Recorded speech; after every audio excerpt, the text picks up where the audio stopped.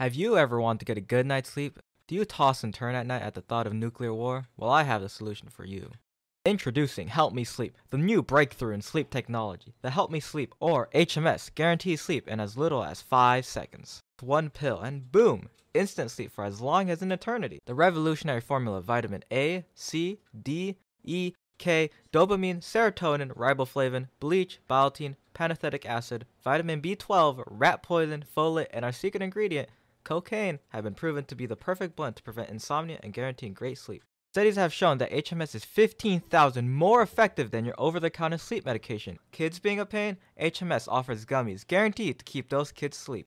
For the athletes who want to stay fit even while sleeping, HMS comes in protein powder form, so stay on that grind 24/7. Call the number down below. It only takes 4 payments of $6.99 to solve your sleeping problems forever. While using HMS, if you experience heartburn, diarrhea, dry mouth, stomach pain, fever, rotting teeth, rapid aging, cognitive impairment, internal bleeding, and death, contact a healthcare specialist immediately. The two comedians I decided to study were Alan Resnick and Zach Hadel. Uh, Alan Resnick being uh, well known for his skits and comedies on Adult Swim.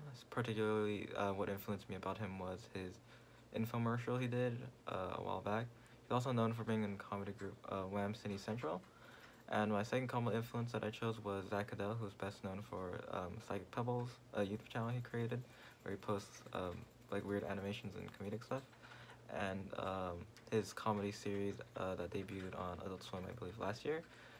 Um, he really influenced me in how he tackled um, adding fantasy and reality together in a really uh, clean way, specifically with um, uh, Smiling Friends, but also his comedic uh, style in general being uh, honestly taking a simple uh, one type of context or a joke and using that for an entire animation, such as taking a joke like a peanut jig that he has a little like 30 second skit in and uh, Smiling Friends, which I think was really fun. Yeah.